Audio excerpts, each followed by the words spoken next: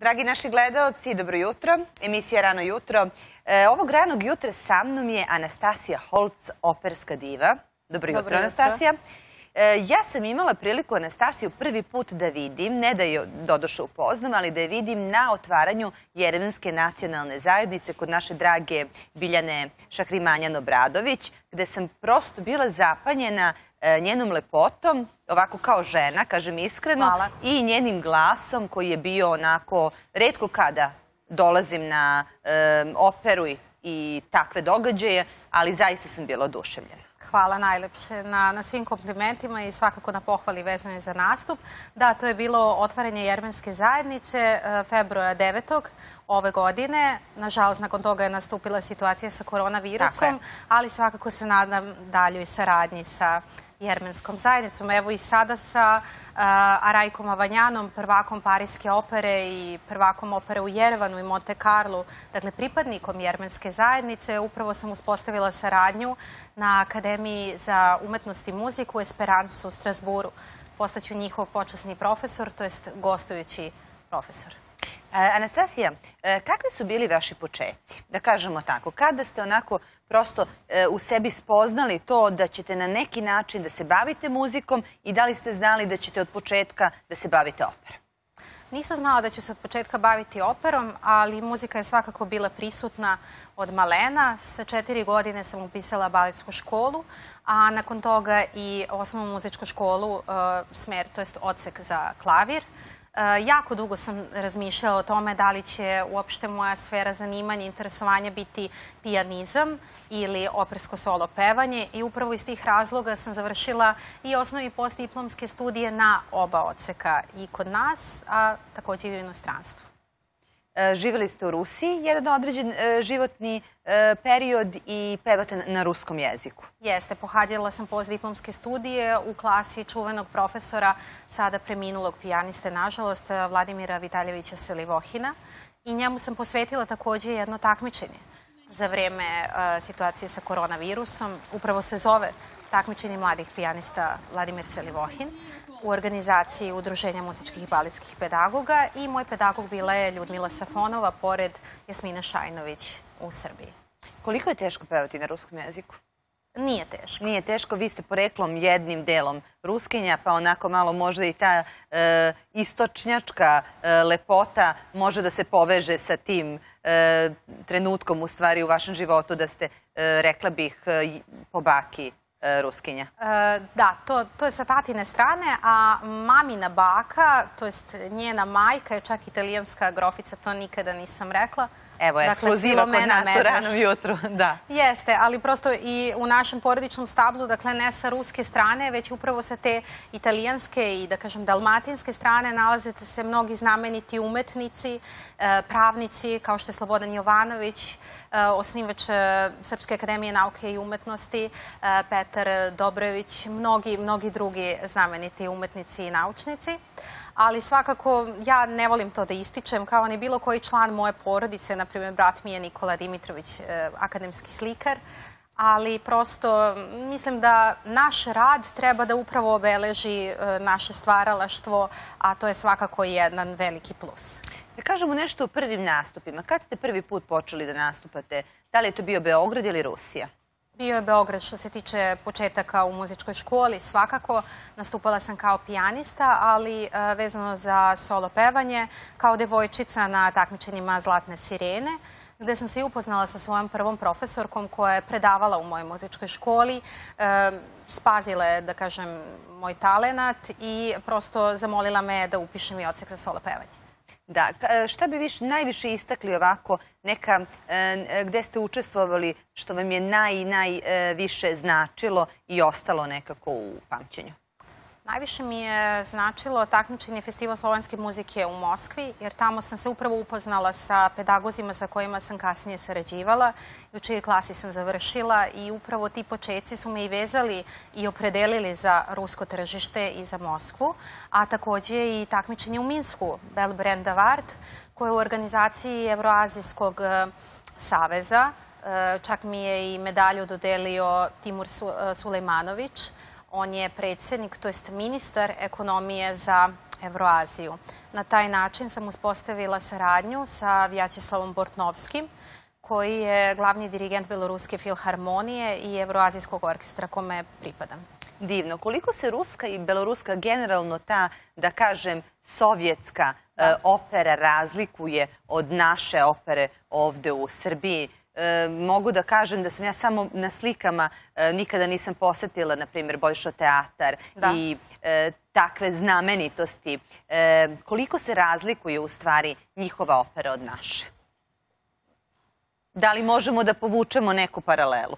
Postoje pre svega sličnosti Dakle, taj temperament, slovenska duša, uopšte način poimanja muzike, umetnosti. Naravno, ne možemo zaboraviti ni Zapad, ne možemo zaboraviti ni Italijane, fenomenalne Francuze i Nemce. Prosto sve te muzičare i umetnike i kompozitore koji su iznedrili kasnije e, fenomenalnu generaciju umetnika, ali konkretno za Rusiju, e, znate kako kažu, što se ide severnije, to jest u hladnije krajeve, to je pozorište veće, glamuroznije, što naša publika ne zna.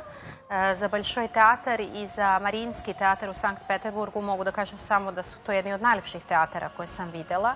Iako su mnogi mali teatri u Italiji zaista velika konkurencija upravo velikim teatrima u Rusiji, to je jedno veliko tržište kultura i oni cene umetnike i cene opersku umetnost i stvaralaštvo. I nekako rekla bih da E, tamo i kada se dolazi, ljudi su obučeni u svečane glamurozne haljine, e, to su toalete, to je jednostavno takav sjaj i glamur koji se ne viđa. Jeste, to je ono što je, na primjer, da kažem, naše podnevlje prosto izgubilo, nažalost.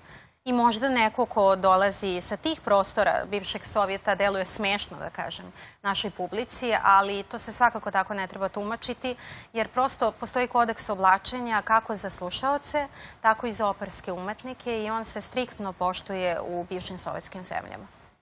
Koliko publika onako znači kada ste na sceni?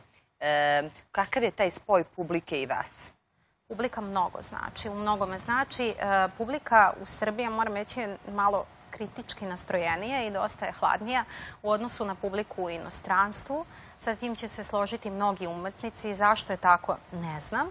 Meni kao umetniku to ne predstavlja veliki problem, ali postoje kolege koje upravo taj aplauz, ta podrška pokreće. Tako da da li je u pitanju uopšte upućenost u repertoar koji se izvodi, ili sam mentalitet ne znam, ali ono što je meni značilo svakako u ruskim zemljama bile upravo ta podrška uporište u slušalcima. E, nekako se kod njih, čini mi se, e, zadržao i dan danas, da zadržala i dan danas kultura slušanja opere, e, kultura odlaska u teatar. Sada u ovo novije vreme balkanske zemlje su nekako zatrpane novokompanovanom muzikom, pa opet i ovaj COVID koji nas je zadesio. Nema više toliko druženja, nema događaja. U ovom trenutku kada je e, e, bila epidemija koronavirusa, e, vežbali ste, pretpostavljam, i dalje i nastupanja nije bilo ili je bilo nešto tokom leta. Kako ste funkcionisali za vreme COVID-a? Znate kako, svi mi smo se suočili sa problemom sa kojim se do sada nismo suočili. To je problem na globalnom nivou. I bili smo zatečeni kao bilo ko. Naša profesija je da kako pogođena. U početku smo se aktivirali online sa nekim uključenjima ili malim koncertima, ali svakako nedostaje ta interakcija upravo koju smo razgovarali i sa publikom i sa orkestrom. U neke zemlje ne možete ući sada ni uz državljanstva, ni posebne mere. Prosto, na primjer, Francuska, mnogi koncerti, konkretno u Strasburu, u Francuskoj su otkazani upravo zbog nemogućnosti da srpski građani, državljani uđu u te zemlje. Svakako razumem zašto se to zašto su se takve mere uvele, ali to je ono što je pogodilo na globalnom nivou sve operske pevače i umetnike. E, tako je. Recite mi, e, član ste e, također u Kirgistanu jedne organizacije. Hoćete da nam kažete nešto više o tome? Ja sam član sam e, Kirgistanske opere, to je njihov stalni e, gostujući solista prvog faha. Nažalost, nisam mogla da uđem u Kirgistan i u ovom novom ugovoru je naznačeno da do maja 2021. svi gosti, bez obzira na ruska državljanstva, državljanstva iz bivših sovjetskih zemalja, nemaju pravo učešća jer prosto zbog situacije sa COVID-om oni se fokusiraju samo na svoje soliste. Interesantno je za Iževsk da e, bila sam u Kazahstanu, u Almati na jednom gala koncertu pre dve godine i pre godinu dana. U Kirgistanu nikada nisam bila. Imala sam nevjerovatna iskustva na aerodromu u smislu izgubljenog prtljaga, opštih očekivanja, umora, nekih televizijskih snimanja, ali sam se zaprepastila veličinom teatra brojem gledaoca. Prosto imali smo jedan nastup na trgu gde je bilo par hiljada ljudi. U njihovom samom teatru nalazi se dve i po hiljade gledalaca. Taj teatar je sada rekonstruisan i mogu samo da zamislim kako izgleda i kakvi su to uslovi. Iako su oni meni neprestano govorili kako su oni u procesu rekonstrukcije i kako će sve to izgledati sjajno i zlatno onako kako je bilo ranije, što prosto mogu tek sada da, da zamislim. Tu su mi najlepše iskustva do sada. E, nekako Oni su bivša Sovjetska republika e, takođe i dosta imaju sličnosti i verujem da ovaj, jako liče i na Ruse i da, mislim, i govori se ruski jezik od njih, može samo razlika što su možda oni druge veroispovesti, ali sigurno da postoji to interesovanje za operu kao i u Rusiji. Jeste, oni su kosoki pre svega. Možda konkretno oni čisti Kirgistanci i Kazahstanci svakako neće ličiti na, na ruski narod, ali po mentalitetu, uopšte po obrazovanju, opredeljenju, svakako su usadili taj ruski-slovenski duh iako nisu pravoslavci, ja prosto nisam osoba koja izdvaja ljude po nacionalnostima. E, tamo sam se našla sa raznim ljudima iz bivših sovjetskih republika i e, moje iskustva su naj, najpozitivnije, pa oni govore ruski. Da, on dakle, nekako se čini da i oni i dalje žive taj sovjetski život. Tako da, je, i da se drže. Na bilo koje nacionalnoj televiziji u tim starim sovjetskim zemljama, Uzbekistan, Kirgistan, Kazahstan, na nacionalnoj televiziji službeni jezik, zvaničan jezik je ruski iako oni imaju svoju valutu, iako imaju i svoj jezik, prosto ja nigde se nisam susrela sa bilo kakvim uh, natpisom, naslovom na njihovom maternjem jeziku. Da, zanimljivo je to dokaz da može i da se govori jedan jezik i da živi više. I veroispovesti i što kažu da se oni čak ni fizički se razlikuju, iako su oni kao Azijati na neki način, a Rusi su opet i beli i plavi, ali lepo žive. E, Anastasija, umetnička agentura MA Artist, e, hoćemo da kažemo nešto o tome, to je prvi put na Balkanu, vi ste osnovali, je li tako? Da.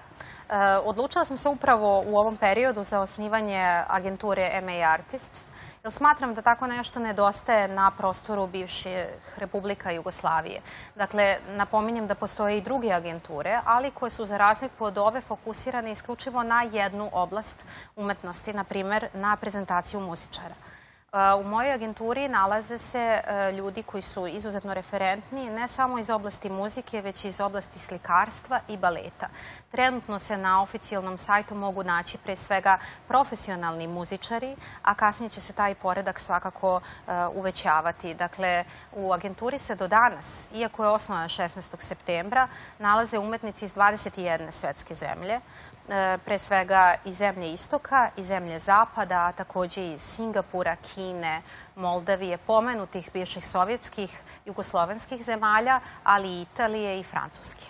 E, kako ti umetnici gledaju na Srbiju? Da li bi voleli da dođu? Da li su neki već bili? Pa nekako čini se da ćete vi sada da ih sve objedinite na jedan način. Tako je. E, od novembra, to je druge polovine novembra, planiraju se master klasovi čuvenih umetnika um, Nazarena Feruđa, to je italijan iz uh, Burse koji će doći. Um, on će održati svoj majstorski kurs, to jest uh, master klas iz Barija, uh, lapsus, izvinjavam se, a pored njega naći će se i Odoardo Maria Berdoni, On je čuveni baletski pedagog iz e, teatra u Rimu. Dakle, on je bio i upravnik i šef baleta u čuvenoj rimskoj operi i baletu i čast mi je što ću moći da mu organizujem uh, majstorski kurs.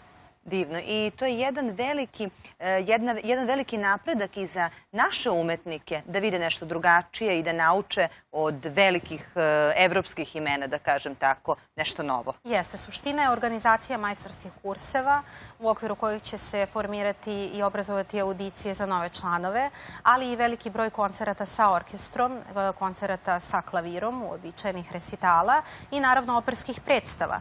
Jer prosto u agenturi, ukoliko mogu da spomenem neka imena, nalaze se ono što je specifično to je što se u agenturi nalaze ne samo umetnici koji su umetnici na sceni, već i umetnici koji su vrsni pedagozi, na primjer e, čak i akademici. Nalaze se zasluženi narodni umetnici poput Nurmatbeka Polotova iz upravo Kirgistana, Ljudmile Safonove koja će održati majstorski kurs također sa Eduardom e, i sa Nazarenom ali e, se nalaze i mnogi akademici, kao što je Vjačislav Bortnovski, šef, dirigent Beloruske filharmonije i Arajka Vanjan, to jest akademik Jermenin koji trenutno živi u Strasboru.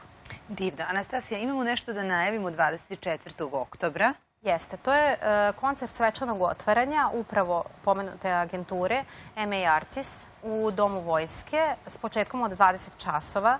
Međutim, moramo poštovati mere koje su propisane zakonom i broj e, gledalaca, to je slušalaca je ograničen. Trenutno ja mislim da je to broj od 30. Nažalost, potrudit ćemo se svakako to medijski da ispratimo na određenim kanalima, na našem e, YouTube kanalu, na Instagramu i Facebooku. Možete se dalje informisati ili prosto uživo slušati prenos.